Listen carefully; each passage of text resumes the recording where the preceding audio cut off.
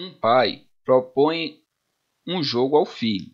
Vou lançar esta moeda três vezes. Cada vez que der cara, você ganha três reais. E cada vez que der coroa, você perde dois reais.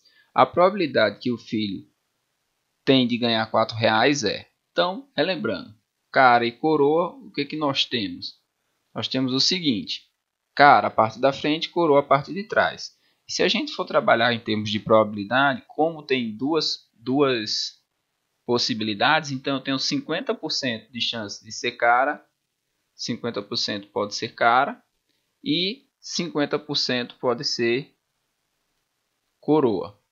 Primeira coisa, coroa. 50%, matematicamente falando, nós temos o que? 50% é igual a 50 sobre 100. Então, 5 para 10, 1 meio. Essa seria a chance. Na questão, o que, que ele fala?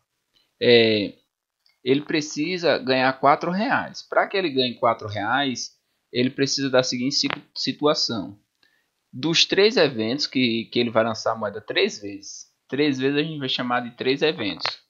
Ele vai precisar que duas vezes seja cara e uma vez seja coroa, sem importar a ordem. Então ele pode ter o seguinte: cara, cara, coroa certo? No caso aqui, cara, ele ganha 3 reais, são 3 mais 3 menos 2, né? Quando for coroa ele perde 2, dá 4 reais.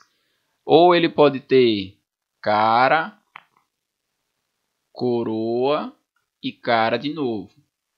A, o somatório vai continuar dando 4 reais. Ou ainda assim, coroa, cara e cara.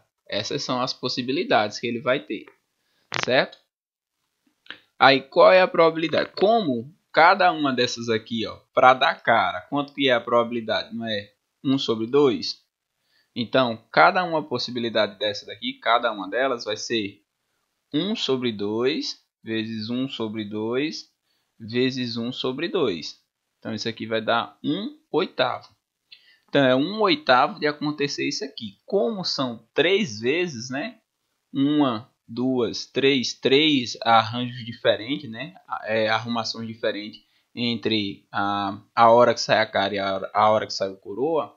Então você vai ter um oitavo, que é essa condição, vezes 3. Então, um oitavo vezes 3 vai ser igual a 3 oitavos. A alternativa correta é a letra D.